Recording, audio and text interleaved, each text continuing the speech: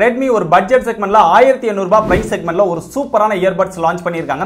Redmi earbuds S இது ஏற்கனவே போன வருஷம் சைனால லான்ச் பண்ண ப்ராடக்ட் தான். அதை தான் இங்க பிரைஸ் அதிகமா வேற நேம்ல எடுத்துட்டு வந்திருக்காங்க ரெட்மி இயர்பட்ஸ் எஸ்னு இதுல என்னென்ன ஃபீச்சர்ஸ் கொடுத்துருக்காங்க? இந்தியாவுக்கு கொண்டு வந்திருக்க பிரைஸுக்கு இது ஒர்த்தா இல்லையா? இதை வாங்கலாமா வேண்டாமா? அப்படிங்கிற எல்லாத்தையுமே நம்ம டீட்டெயில்டா டிஸ்கஸ் பண்ண போறோம். அதனால இந்த வீடியோவை ஸ்கிப் பண்ணாம பாருங்க.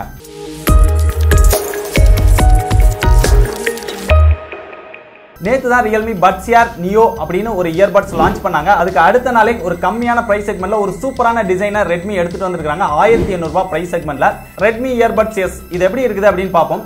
ஒரு கம்பாக்டான டிசைன் கொடுத்துருக்காங்க. இந்த கேஸை பார்க்கும்போதே ரொம்ப சூப்பராக இருக்குது. ஃப்ரண்ட்ல பார்த்தோம் அப்படின்னா சார்ஜிங் எல்இடி கொடுத்துருக்காங்க. ரெட் கலர்ல பிளிங்க் ஆகிட்டே இருக்கும். நீங்க சார்ஜ் போடும்போது சார்ஜ் ஃபுல் ஆயிடுச்சு அப்படின்னா அந்த எல்இடி ஆஃப் ஆயிடும் அப்படியே ரியர் சைடில் பார்த்தோம் அப்படின்னா சார்ஜிங் போர்ட் கொடுத்துருக்காங்க. மைக்ரோ யூஎஸ்பி தான் கொடுத்துருக்காங்க. டைப் சி கொடுக்கல. டைப் சி கொடுத்துருந்தாங்க அப்படின்னா நல்லா இருந்திருக்கும். ஏன்னா அந்த அளவுக்கு சைனால லான்ச் பண்ண ப்ராடக்ட்டுக்கும் இங்கேயும் பிரைஸ் டிஃபரன்ஸ் இருக்குது. அந்த பிரைஸ் டிஃபரன்ஸ்க்காவது அவங்க டைப் சி கொடுத்துருக்கலாம். அதே மாதிரி இந்த கேஸ்ல சார்ஜ் எவ்வளோ இருக்குது அப்படிங்கிற எல்இடி பாயிண்ட்ஸ் வந்து எதுவுமே கொடுக்கல.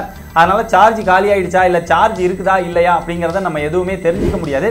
ஸோ அந்த எல்இடி கொடுத்துருந்தாங்க அப்படின்னா கேஸ் வந்து இன்னும் சூப்பராகவே இருந்திருக்கும். இயர்பட்ஸ் வந்து ரொம்ப சூப்பரா டிசைன் பண்ணியிருக்காங்க. ஒரு ஸ்டைலிஷான லுக்ல தான் இருக்குது. நல்லாவே டிசைன் பண்ணியிருக்காங்க அப்படின்னு சொல்லலாம்.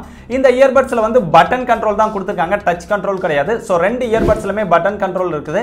இந்த பட்டன் கண்ட்ரோல் மூலமா நீங்க மியூசிக்கை ப்ளே பண்ணலாம் பாஸ் பண்ணலாம் இல்ல அசிஸ்டன்ட் மூலமா கனெக்ட் பண்ணி உங்களுடைய மொபைலை நீங்க ஆப்ரேட் பண்ணிக்க முடியும். இன்னும் ஏகப்பட்ட ஃபீச்சர்ஸ் கொடுத்துருக்காங்க இந்த பட்டன் கண்ட்ரோல்ல இந்த இயர்பட்ஸை வந்து நம்ம நம்ம கேஸை விட்டு வெளியில் எடுத்தோம் அப்படின்னா ஆட்டோமேட்டிக்காக ஆன் ஆகிடும் திருப்பி நம்ம கேஸ்க்குள்ளே பிளேஸ் பண்ணிட்டோம் அப்படின்னா ஆட்டோமேட்டிக்கா ஆஃப் ஆயிடும். தனித்தனியாகவும் நம்ம யூஸ் பண்ணிக்க முடியும். ரெண்டையும் சேர்த்தும் யூஸ் பண்ணிக்க முடியும்.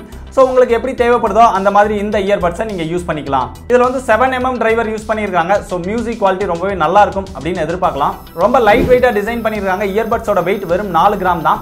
இயர்பட்ஸ்க்குள்ள ஃபார்ட்டி எம்ஏஹெச் பேட்டரி கெபாசிட்டி கொடுத்துருக்காங்க. மேக்ஸிமம் நீங்கள் ஃபோர் ஹவர்ஸ் வரைக்கும் கண்டினியூஸாக மியூசிக் லிசன் பண்ண முடியும் அப்படின்னு சொல்கிறாங்க கேஸில் three hundred mAh battery capacity கொடுத்துருக்காங்க. கேஸ் அப்புறம் இயர்பட்ஸ் ரெண்டையுமே சேர்த்து நீங்கள் கண்டினியூஸாக டுவெல் ஹவர்ஸ் வரைக்கும் மியூசிக் லிசன் பண்ண முடியும் அப்படின்னு சொல்லியிருக்காங்க. கேஸில் நீங்க பிளேஸ் பண்ணி சார்ஜ் பண்ணீங்க அப்படின்னா ஒன்றரை மணி நேரம் சார்ஜ் டைம் எடுத்துக்கும். ஃபுல்லாக சார்ஜ் பண்ணுறதுக்கு நீங்கள் சார்ஜர் யூஸ் பண்ணி கேஸை சார்ஜ் பண்றீங்க அப்படின்னா டூ ஹவர்ஸ் ஆகும் அப்படின்னு சொல்லியிருக்கிறாங்க. இன்னும் கொஞ்சம் ஃபாஸ்ட் சார்ஜிங்லாம் கொடுத்து இல்லை வேகமாக சார்ஜ் ஆகிற மாதிரி கொடுத்துருந்தாங்க அப்படின்னா ஒரு சூப்பரான இயர்பட்ஸாகவே இருந்திருக்கும். இது போக இதில் கேமிங் மோட் அப்படின்னு ஒன்று கொடுத்துருக்காங்க. அதனால பப்ஜி விளாட்றதுக்கு ரொம்ப சூப்பராக இருக்கும். லோ லேட்டன்சி சப்போர்ட் இருக்கிறதுனால எந்த ஒரு டிலேவும் இருக்காது. ரியல் டைமாக ஆடியோ கேட்கும். அதனால கேமிங் விளாட்றதுக்கு வேற லெவல் பர்ஃபார்மன்ஸாக இருக்கும் அப்படின்னு எதிர்பார்க்குறேன். இதில் ஐபி எக்ஸ்போர் ரேட்டிங் கொடுத்துருக்காங்க. அதனால ஸ்வெட் அண்ட் ஸ்பிளாஷ் ப்ரூஃப் இருக்குது.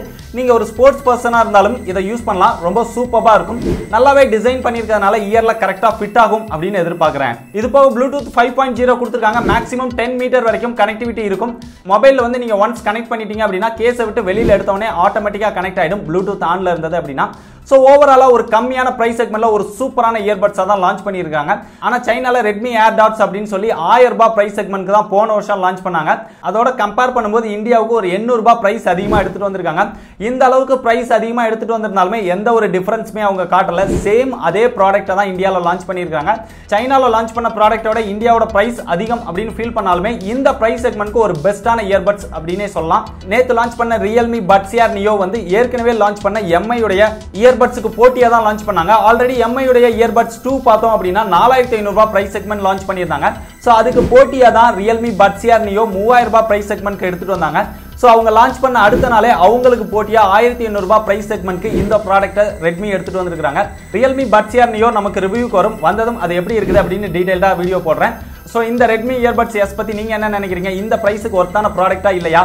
அதை பத்தி உங்களுடைய கருத்துக்களையும் மறக்காம கீழே கமெண்ட் பண்ணுங்க. ஸோ இந்த மாதிரி லேட்டஸ்ட் ப்ராடக்ட்டோட அப்டேட்ஸ் பற்றி தெரிஞ்சுக்க டெக் படிஸா எல்லா சோஷியல் மீடியாலையும் ஃபாலோ பண்ணிக்கோங்க.